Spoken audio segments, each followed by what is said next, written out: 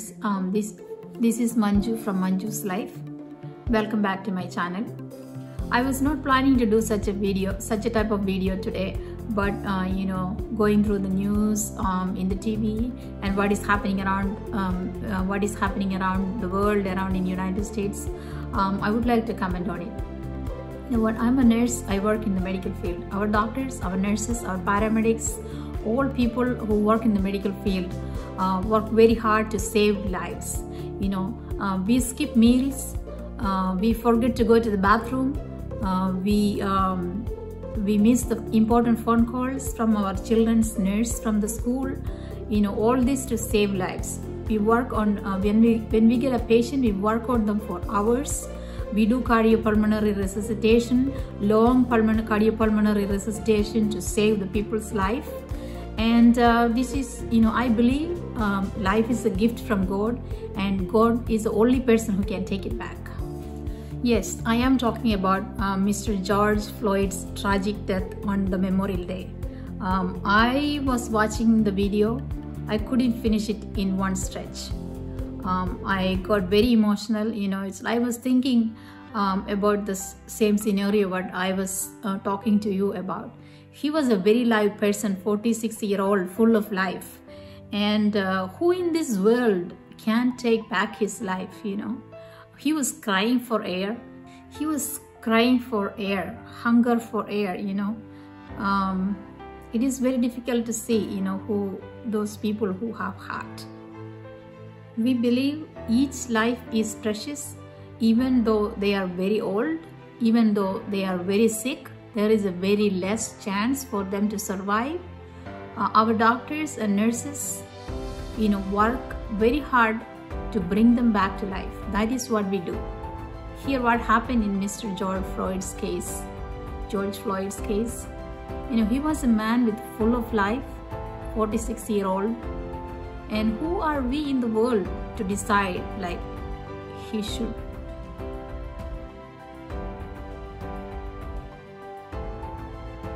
who are we in this world to take you know some people's people's life?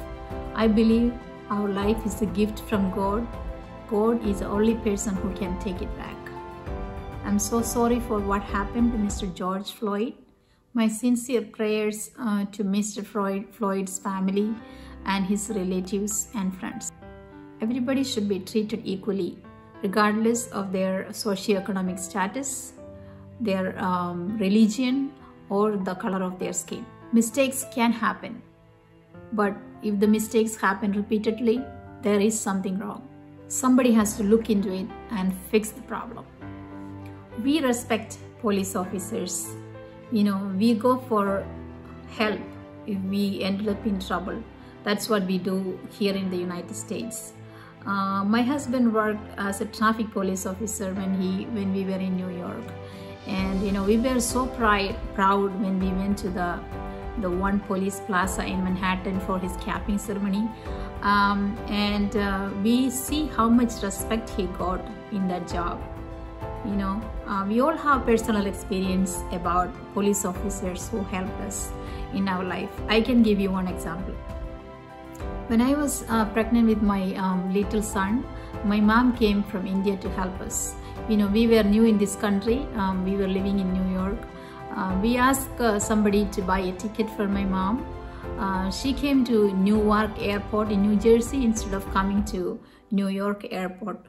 You know, we told my mom um, in the United States, um, all police officers are very helpful. If you end up in, in any trouble when you come by yourself, you approach a police officer, they will help you. And what happened is she came um, to the airport in the middle of the night and we were waiting for her in the JFK airport and uh, um, she was waiting for us in the Newark airport. And uh, you know she remembered what we told her and she she ended up going to the police officer and he helped her he helped her to call us. And she called us and um, she, um, she, told us you know she's waiting she's waiting in the uh, Newark airport you know that time we realized what we did you know you may think that we we did something stupid it happened you know it happened in our life and uh, uh, we, we, we went to New Jersey. Uh, we you know when we went um, there in the middle of the night my my mom was so comfortable and she's uh, we were worried about her but she felt like very comfortable and she said you know this police officer was very helpful. Um, I, I, felt uh, you know protected. I felt safe um, you know here. So this is my experience. So it's like we all have a lot of experience about good police officers and they are as I said, um, we all love our police officers, but, uh, but our African Americans uh, need justice. They are contributing members of the society. Uh, most of my career uh, when I work here in the United States, I work with people with all colors. As like many of you, our friends are from different countries they are born in different countries brought up in different countries they speak different languages and their skin colors are also different. But when we need something when we need, when we need some help they are here they are there to help us you know. This is what uh, our friends are. You don't judge people according to your, their color. You judge you understand. You don't even use the word judge. You try to understand people according to their character who they are what is their personality, not like with the color of their skin. We all have to speak up when it is the time, you know. Violence is not a solution. We have to talk. People have to bring awareness about what is happening and we need to change. You know, uh, you cannot change anybody around you. You can you start you start the change from yourself. Support your neighbors around you. They need justice. Violence is not a solution we have to protest peacefully, bring your word out, talk about it. God created all of us differently. We are all unique. There is no one person same as like the other person. So uh, we are all different. We are all different types of flowers in the same garden. God created us like God created us like that. We have to respect it.